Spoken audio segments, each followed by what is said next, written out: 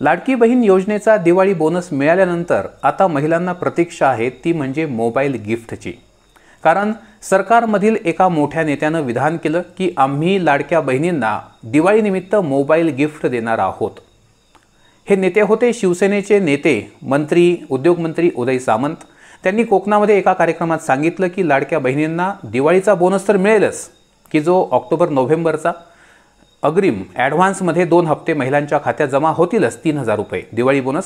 परंतु त्यासोबतच महिलांची दिवाळी अजून आनंदी करण्यासाठी आम्ही त्या ठिकाणी मोबाईल फोन त्यांना गिफ्ट करणार आहोत दिवाळीचं गिफ्ट. आता त्यानंतर सोशल मीडियावर एकच क्रेज निर्माण झाली. सगळीकडे चर्चा होऊ लागली की लाडक्या बहिणींना मोबाईल गिफ्ट मिळणार आहे?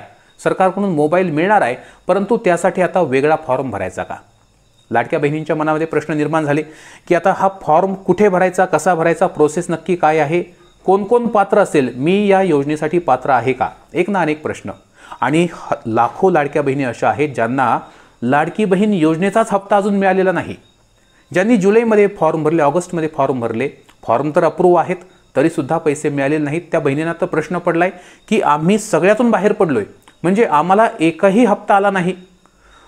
पाठीमागे आता काल सकाळपासून म्हणजे पाच ऑक्टोबरच्या सकाळपासून मुख्यमंत्री अन्नपूर्णा योजना म्हणजे तीन मोफत गॅस सिलेंडर देणारी जी योजना आहे तिचे पैसे महिलांच्या खात्यात पडायला सुरुवात झाली. काहींच्या खात्यावर आठशे पाच रुपये आले आठशे दहा आठशे तीस आठशे पंचावन्न असे आकडे आकडे ऐकायला येत आहेत. महिला कमेंट करून सांगत आहेत की आमच्या खात्यावर अन्नपूर्णा योजनेचे मोफत गॅस सिलेंडर योजनेचे पैसे येऊन पडलेले आहेत आणि त्या आनंदी आहेत. अनेकींना दिवाळीचा बोनस मिळाला आहे तीन हजार रुपये मिळालेले आहेत. ज्या बहिणींनी सप्टेंबर महिनमध्ये फॉर्म भरला त्यांना फॉर्म भरायला उशीर झाला त्यांना सप्टेंबरचे पंधराशे दीड हजार आणि ऑक्टोबर नोव्हेंबरचे तीन हजार असं साडेचार हजार रुपयांचा दिवाळी बोनस त्यांना मिळाला. परंतु हे सगळं जरी खरं असलं तरी देखील मोबाईल गिफ्टबाबत जे एक सोशल मीडियामध्ये सगळं वातावरण तयार झालं आहे तर कुठेही त्याबाबत सरकारकडून वाच्यता केली जात नाही आहे परंतु जी कुजबूज ऐ ऐकायला येते त्यानुसार येत्या आठ तारखेला म्हणजे आठ ऑक्टोबर मंगळवारच्या दिवशी सोलापूरमध्ये एक वचनपूर्ती सोहळा लाडकी बहीण योजनेचा घेतला जाणार आहे. आणि या सोहळ्याला मुख्यमंत्री उपमुख्यमंत्री म्हणजे मुख्यमंत्री एकनाथ शिंदे साहेब उपमुख्यमंत्री देवेंद्रजी फडणवीस साहेब आणि उपमुख्यमंत्री अजितदादा पवार साहेब.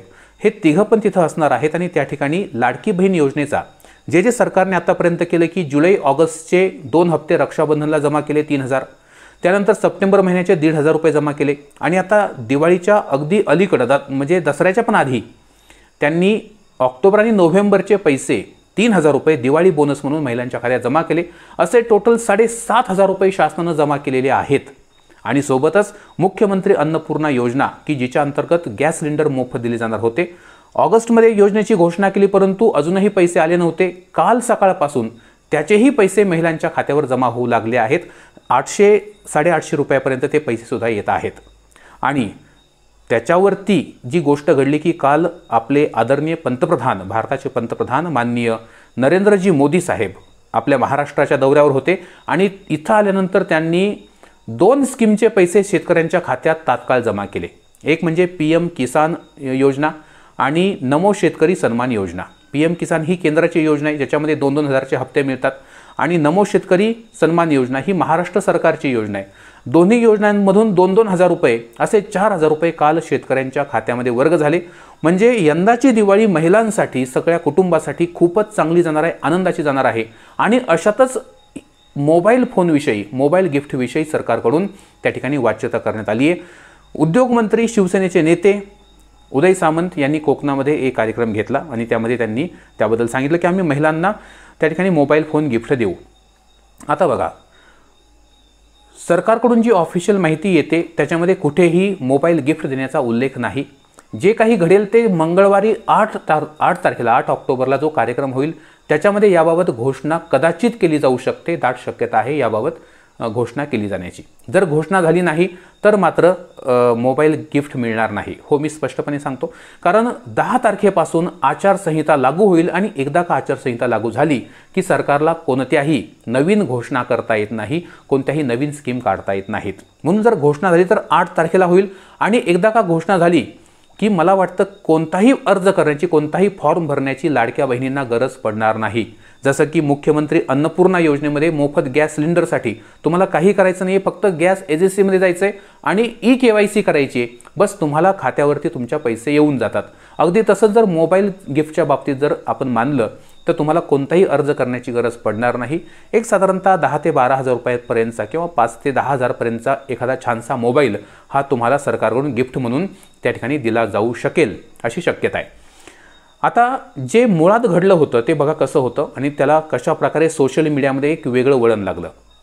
उद्योगमंत्री आहेत उदय सामंत कोकणातले आहेत आणि कोकणात जाऊन त्या ठिकाणी त्यांनी उमेद हे एक अभियान आहे. हे बघा हे उमेद नावाचं अभियान आहे. या उमेद अभियानला म्हणतात महाराष्ट्र राज्य ग्रामीण जीवनोन्नती अभियान. महाराष्ट्र राज्य जीव ग्रामीण जीवनोन्नती अभियान. याच्या अंतर्गत काय केलं जातं? तर ग्रामीण भागामध्ये जी गरीब कुटुंब आहेत त्यांचं जीवनमान कसं सुधारता येईल? त्यांना दारिद्र्यरेषेच्या वरती कसं काढता येईल? त्यांना वेगवेगळे उपक्रम राबवून त्यांना उद्योगशील कसं बनवता येईल? थोडक्यात त्यांच्या हाताला काम मिळेल आणि त्यांची आर्थिक स्थिती सुधारेल. यासाठी काम केलं जातं उमेद अभियानामध्ये. आता या उमेद अभियानामध्ये अनेक महिला काम करतात. कोकणामध्ये जवळपास दोन हजार चारशे महिला जिथं हा कार्यक्रम झाला तिथं दोन हजार चारशे महिला उपस्थित होत्या उमेदमध्ये काम करणाऱ्या. आणि उदय सामंत यांनी ती घोषणा केली की तुम्हाला तुम्ही खूप चांगलं काम केलं आहे गरीब लोकांसाठी तुम्ही काम केलं आहे गरिबांसाठी तुम्ही कष्ट केलेत. आणि म्हणून या महिलांना ज्या महिला उमेदमध्ये आहेत त्यांना आम्ही मोबाईल गिफ्ट देणार आहोत दिवाळीनिमित्त. आता गंमत अशी आहे की उमेदचा पसारा फक्त कोकणात नाही आहे संपूर्ण महाराष्ट्रामध्ये उमेद पसरलेला आहे. हे जे काही अभियान आहे संपूर्ण महाराष्ट्रात राबवलं जातं. याच्या अंतर्गत अनेक त्या ठिकाणी बचत गट कार्यरत आहेत. आणि म्हणून महिलांना असं वाटलं की मी सुद्धा बचत गटामध्ये आहे मग मला पण आता मोबाईल फोन मिळेल का? ज्या बचत गटात महिला नाहीत त्या देखील बचत गट जॉईन करू लागले आहेत. बचत गटामध्ये एंट्री करू लागले आहेत.